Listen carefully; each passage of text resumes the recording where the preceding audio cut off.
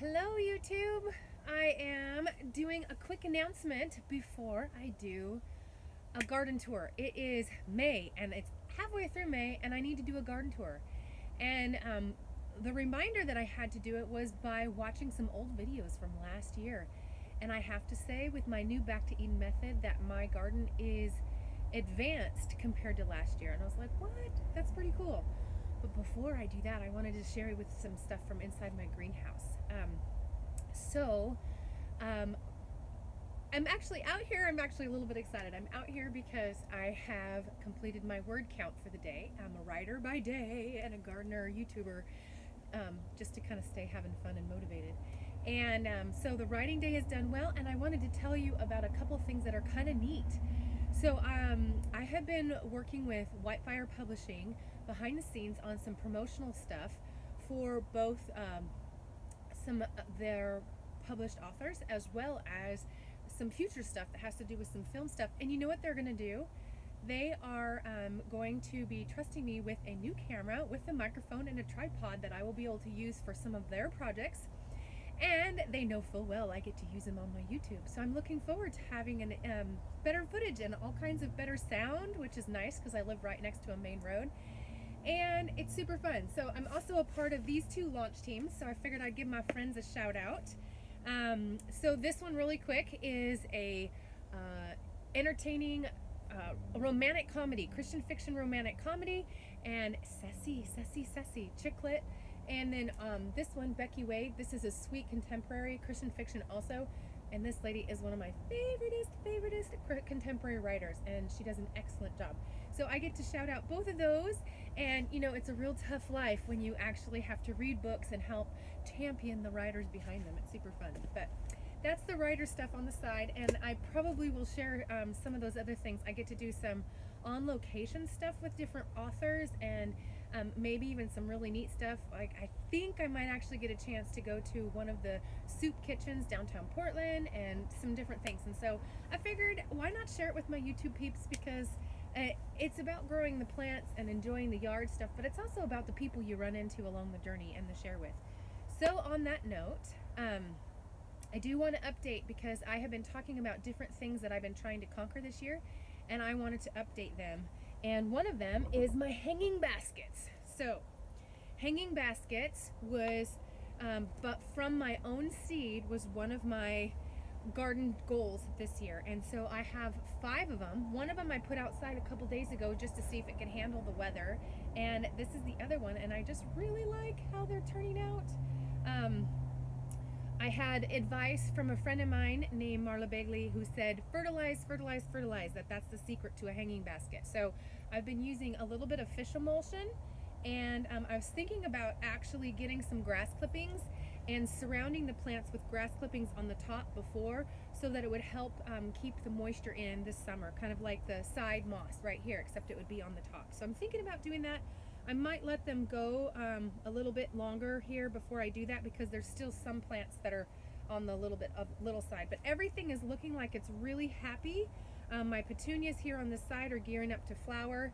Um, so yeah, I'm kind of excited about that. I feel like feel like this far is already a victory. So the goal is to um, not let them dry out when the sun happens. And um, if you were watching my videos, you might have seen that I was trying to grow my own asparagus and from seed, not from starts from the store, from seed. And I had nothing happening. But now I have two pots that look like this. Yay! I feel like this is a major victory.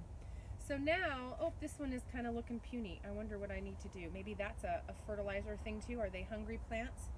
Um, so obviously when they bring them to the store, they bring them in in the roots. So it's the roots that come back every year. So I was thinking about um, trying to figure out how long I wait before I plant them out. They I don't think the area that I want to put them, that this would be a very big success. So I actually want to wait longer and let the root systems get more mature, but I also don't want this to happen. So if you have any knowledge on growing your own asparagus from seed, I would love some advice. Um, so I have two pots of it though, and I was so excited. It took a long time for it to, to uh, take off, but I'm super excited about that. And my little goji bushes are doing great too. Um, I have a lot of plants in my greenhouse that are telling me it's time to put them out.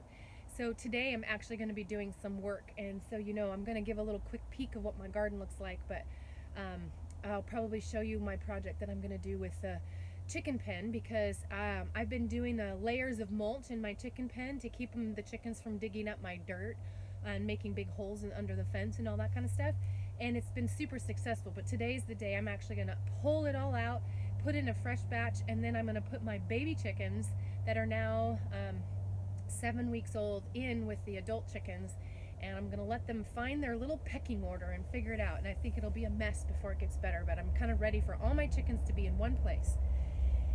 And um, oh my one other thing I really wanted to say I'm so excited about this.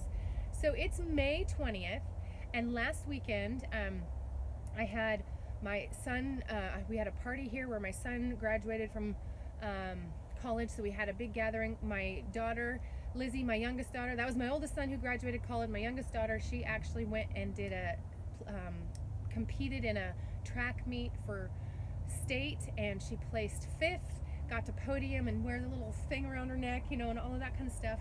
But for me, one of the little wins that was super exciting is I had my whole crew. So there's my husband and I, and we have five kids and my oldest son had his sweetheart over and we had a sit down meal and I filled up a big bowl of different kinds of greens. I had um, um, garlic scapes for the first time amongst um, several kinds of lettuce and um, kale and chard and uh, you know chives and I can't even name it all. I literally it was a main part of our meal and it, it, it went everybody was loving it and you know there's just something really healthy tasting about that and all my kids were eating it my husband ate it and it's may 20th i usually in oregon usually rototill my garden in and start to put things in the first week in may and i might have some plants started in my house to go out but I'm very excited to show you my garden tour so you can see that it's not established yet. It's not taken off like crazy. But man, is there so much more going on right now than what I usually have this time of year. And I was watching, like I said, I was watching old videos and I kind of couldn't believe it. I'm thinking about um, starting my corn really quickly here, which is a little early for me. I'm not sure. And um, I have some melons that I've got mature plants to put out that I would like to put out and see how they do. I am still in Slugmageddon. The slugs, I think, might have as much victory as I do. I think we might be at a draw right now. I think my cucumbers, I think I planted my cucumbers three or four times and I've slug baited like crazy.